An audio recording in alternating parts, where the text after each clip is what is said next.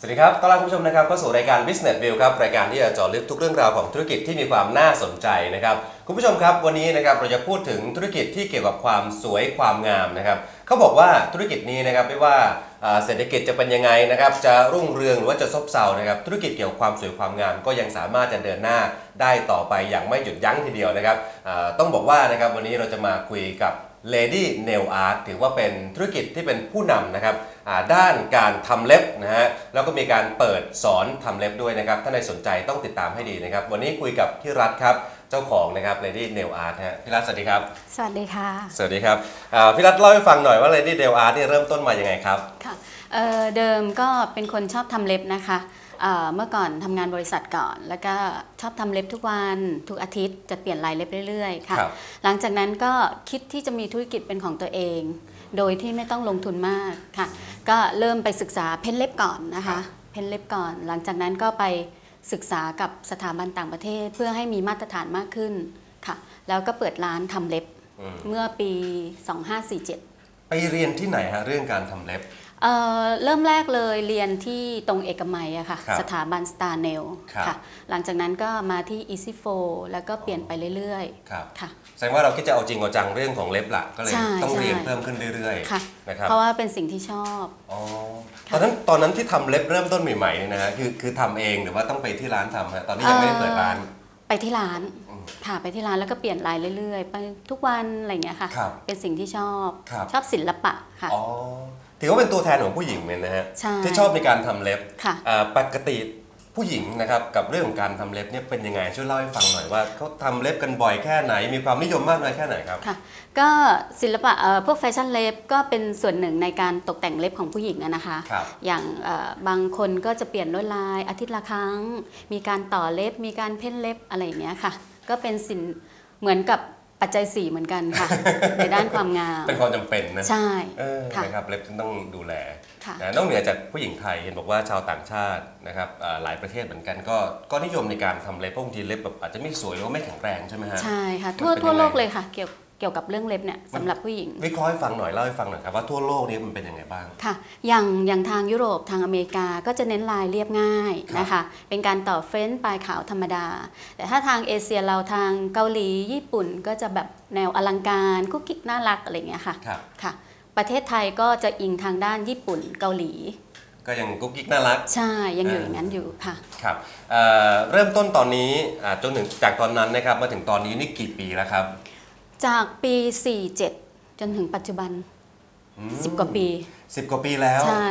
นะครับเริ่มเริ่มศึกษาเลยตั้งแต่ปี 47 ค่ะ ครับ ตอนแรกนี่เปิดเป็นร้านใช่ไหมฮะเปิดเป็นร้านที่งามวงวานครับค่ะ แต่ว่าตอนนี้เป็นสถาบันเป็นสถาบันสอนอย่างเดียว สอนอย่างเดียวไม่เปิดร้านละไม่เปิดร้านแล้วทำไมเปลี่ยนจากร้านเป็นสถาบันครับเออเป็นคนชอบสอนชอบให้ความรู้ครับ ค่ะเพ ราะว่าถ้าเปิดร้านเนี่ยเราสามารถเซตเวลาได้เออเปิดโรงเรียนเปิดโรงเรียน สามารถเซตเวลาได้ครับเวลาให้ตัวเองได้ครับแต่ถ้าเปิดร้านเนี่ยตั้งแต่เช้าถึง4ี่ทุ่มต้องอยู่กับร้านต้องอยู่กับร้านอยู่กับลูกค้าตลอดเลยอ๋อค่ะแล้วก็ปรับเปลี่ยนมาเป็นการเปิดโรงเรียนสอน เปิดโรงเรียนทีนี้ก่อนก่อนครับเปิดโรงเรียนเราก็ไปเรียนด้านการสอนเล็บก่อนครับมีใบอนุญาตเป็นครูก่อนอ๋อค่ะ อันนี้เป็นความรู้นะครับว่าถ้าเราจะเปิดโรงเรียนสอน อาอย่างเรื่องการทำเล็บเนี่ยต้องไปขออนุญาตที่ไหนยังไงบ้างครับเออจริง ๆ แค่แค่ไปเรียนรู้ด้านด้านการเป็นครูครับเขาจะเรียกว่า nail educator ค่ะ ก็ตามแบรนด์ต่างๆ เขาจะมีเปิดสอน เราก็เพื่อเพื่อให้มันมาตรฐานเหมือนกันทั่วโลกอะค่ะครับค่ะ เราก็มีมีใบอย่างนั้นเหมือนกันมี educator ครับก็คือเป็นใบรับรองใบรับว่าเรามีความรองสามารถด้านเล็บแล้วก็ด้านเล็บสามารถจะสอนให้ความรู้ได้ ใช่อ๋อมีความรู้เป็นมาตรฐานทั่วโลกครับค่ะ ครับก็เลยมาตัดสินใจเปิดที่นี่ ใช่ ตอนนี้ร้านอ่าที่เป็นโรงเรียนนะครับ Lady Nail Art ที่อยู่ที่ไหนฮะ เอ่อตั้งอยู่ชั้น 2 นะคะ อาคารมออเวนิวครับ ติดเดอะมอลล์บางกะปิค่ะ ครับนะวัตถุประสงค์การเปิดโรงเรียนสอนนี่คืออะไรครับ เพื่อให้คนมีอาชีพแบบว่าไม่ต้องลงทุนมาก ครับ สามารถหิ้วกระเป๋าเองก็ได้ สามารถตั้งโต๊ะที่ตลาดนัดหรือว่าตามตลาดเล็กๆ อะไรอย่างเงี้ยค่ะ ก็ได้ หรือว่าใครมีทุนเยอะๆ ก็สามารถเปิดร้านใหญ่ ๆ ก็ได้ อืมค่ะ ต้องการให้อาชีพอาชีพนะต้องการให้คนมีรายได้ค่ะอ๋อแบบเศรษฐกิจพอเพียงไม่ต้องครับลงทุนมากครับค่ะคือจริงๆเหมือนทำงานประจำนี่ก็สามารถที่จะก็สามารถเป็นทำช่าอางชีพทำเล็บนี้ได้ได้ใช่ค่ะอ๋อเหรอฮะอาตอนนี้เองลูกค้าก็ปรับเปลี่ยนคือจากลูกค้าที่ walk in เข้ามาแล้วก็มาทำเล็บ ตอนนี้ก็เป็นลูกค้าที่ walk in มาแล้วก็มาเรียนมาเรียนใช่ไหมใช่เป็นยังไงบ้างสัดส่วนของสองอย่างนี้ครับอืมถ้าถ้าลูกค้าก็ เข้ามาทุกทั้งวันนะคะ ครับ แต่ถ้านักเรียนเฉลี่ยก็วันละคน เราก็สอนไปเรื่อยๆ จนเขาจบครับ ค่ะ พูดถึงการเรียนการสอนบ้างนะครับ Lady Nail Art ที่สอนอะไรบ้างครับ เอ่อเริ่มตั้งแต่เพ้นเล็บเลยค่ะ เพ้นเล็บด้วยภูการแบน เพ้นเล็บด้วยภูการกลมสไตล์สไตล์แบบบ้านเราอะนะคะ ครับ แล้วก็การต่อเล็บอะคริลิก การต่อเล็บเจล ทุกอย่างเลยค่ะเกี่ยวกับเล็บ อืมนะฮะใช้เวลาในการเรียนเนี่ยมากน้อยแค่ไหน เฉลี่ยต่อละหนึ่งหลักสูตรประมาณ 3 วันอ๋อค่ะ หรือถ้าจบไปแล้วยังไม่มั่นใจยังไม่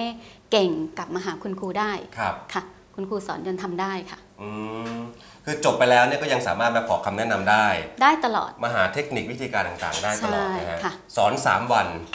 ประมาณ 3 วัน ครับบางคนอาจจะ 5 วันก็ได้ คุณครูก็สอนค่ะ อ๋อฮะไม่มีค่าใช้จ่ายเพิ่ม อยากอ่าอยากมาเรียนนี่ก็สอนให้หมดเลยสอนให้หมดเลย ดีอุนะปกรณ์มีพร้อมไม่ต้องซื้ออะไรเพิ่มเลยค่ะ อืมค่ะ ครับครับอ่ากลุ่มลูกค้านะฮะที่เข้ามาเรียนเนี่ยส่วนใหญ่นี่เป็นอ่าคนที่ไหนครับในกรุงเทพเองหรือว่าต่างจังหวัด เออสังเกตจากจากที่สอนเล็บนะคะ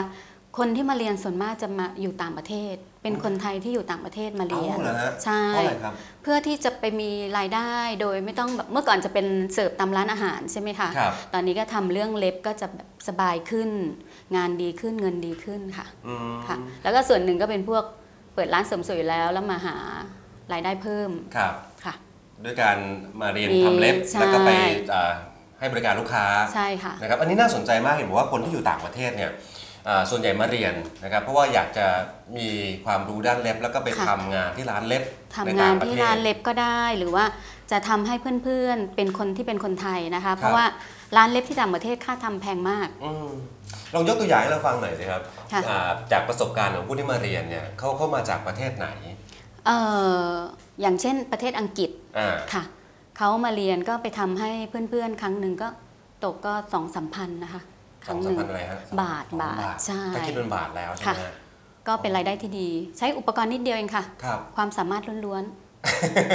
ความคิดบวกกับความคิดสร้างสรรค์ๆด้วยใช่ใช่อืมนะครับอย่างที่สถาบันนี้สามารถรองรับผู้เรียนได้กี่คนครับเออคลาสหนึ่งน่าจะไม่เกิน 20 ถ้าถ้าเยอะกว่านั้นแบบกูเดี๋ยวคุณครูดูแลไม่ทั่วถึง แต่ว่าเราจัดคุณครูสอนประมาณ 4 ท่านนะคะ ในแต่ละคลาส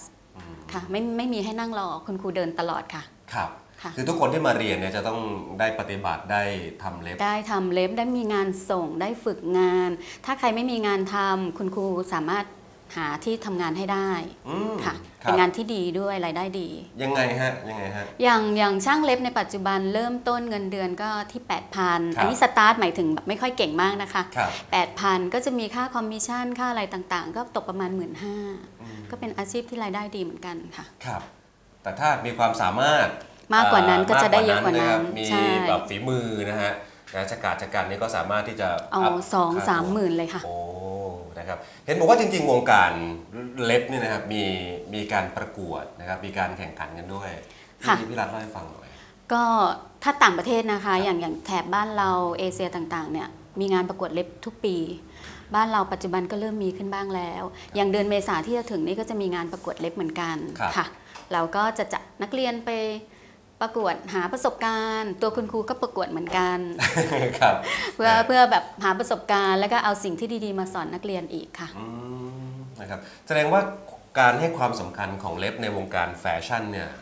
ก็ก็ถือว่าให้ความสำคัญมากเหมือนกันใช่ไหมใช่ คุณครูต้องรู้จักอัปเดต แฟชั่นเหมือนกันเกี่ยวกับเล็บ เพราะมันมีอะไรเปลี่ยนแปลงไปเรื่อยครับๆ ต้องเอาสิ่งใหม่ๆ มาสอนนักเรียนนะคะ อืมอย่างเมื่อก่อนแฟชั่นเล็บเป็นยังไง แล้วก็ปัจจุบันนี้แฟชั่นเล็บเป็นยังไงพี่รัฐเล่าให้ฟังครับ เมื่อก่อนก็จะเป็นต่อเล็บแค่อะคริลิกนะคะครับ ปัจจุบันก็คืออะคริลิกข้อเสียก็คือมีกลิ่น แต่ไม่เป็นอันตรายนะคะ ครับ ก็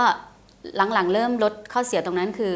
มีการต่อเล็บเจลก็คือไม่มีกลิ่น ครับ ปัจจุบันก็เริ่ม paint ด้วยเจล มี gel art มีเจลอะไรต่างๆ ก็สามารถเพิ่มรายได้ให้ร้านเราได้อืมค่ะ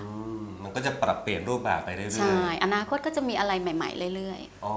ฮะอันนี้คือวัสดุที่นำมาใช้ในการทำเล็บต่อเล็บแล้วอย่างพวกลายนะครับมีมีแฟชั่นแบบล่าๆสุดมีที่มีลายเป็นงไงลาย อย่างปัจจุบันเห็นนิยมมากลายเขาเรียกอะไร abstract abstract ไม่มีลวดลายครับ เพ้นไปเรื่อยๆ ตามตามจินตนาการของผู้เพ้นออกมาก็สวยเหมือนกันนะคะ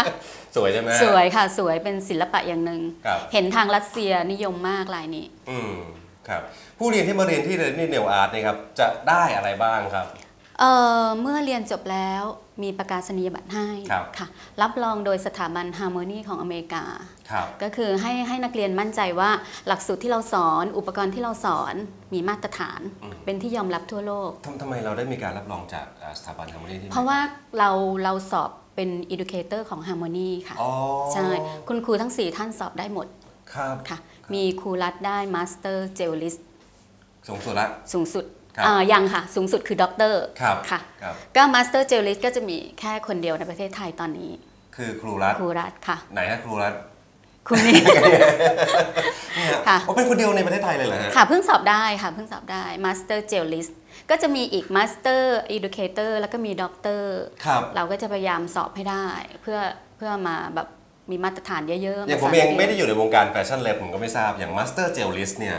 คืออะไรครับ ก็เท่ากับ ถ้าถ้าเป็นหลักสูตรก็คือเท่ากับปริญญาโท